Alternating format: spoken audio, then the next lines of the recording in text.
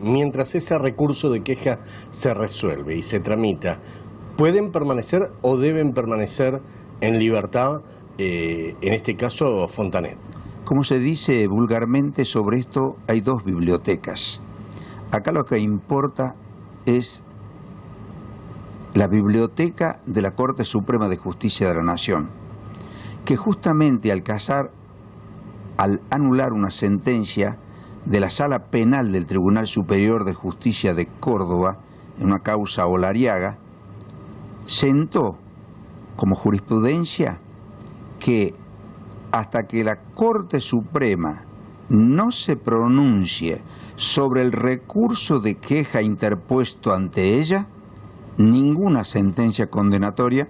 puede ser ejecutada. Pues bien, en horas de esta tarde, ya fuera de atención al público, teniendo en cuenta el momento en el que nosotros fuimos notificados de la decisión objeto de este comentario, hicimos una presentación ante el tribunal oral en este sentido y sobre esa presentación seguramente mañana vamos a tener una decisión de la Cámara.